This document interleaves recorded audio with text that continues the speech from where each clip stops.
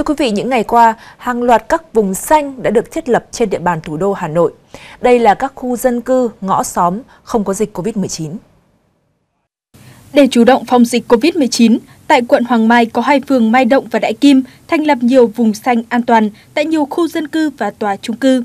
Tại các vùng xanh này, tất cả những người lạ ra vào đều phải khai báo y tế, thực hiện nghiêm nguyên tắc 5K. Người vận chuyển hàng hóa đến chỉ được giao tại bàn chốt trực, không đưa trực tiếp vào nhà người dân. Người dân muốn ra khỏi khu vực phải có giấy đi đường, giấy công tác, phiếu đi chợ, đồ đạc chuyển ra, vào được người dân đặt tại chốt bảo vệ. Lực lượng túc trực tại các chốt vùng xanh chia làm 3 ca trực mỗi ngày, bao gồm từ 5 giờ đến 12 giờ, 12 giờ đến 19 giờ và 19 giờ đến 23 giờ. Tại các chốt trực sẽ lên danh sách người ra, vào và thời gian cụ thể để kiểm soát đảm bảo an toàn cho người dân. Theo chia sẻ của lãnh đạo Ủy ban Nhân dân phường Mai Động, việc thiết lập vùng xanh đã được quận ủy Hoàng Mai triển khai nghị quyết thực hiện. Người dân có ý thức bảo vệ sự an toàn của khu nên đã tự nguyện lập nên các chốt, tự bố trí người trực.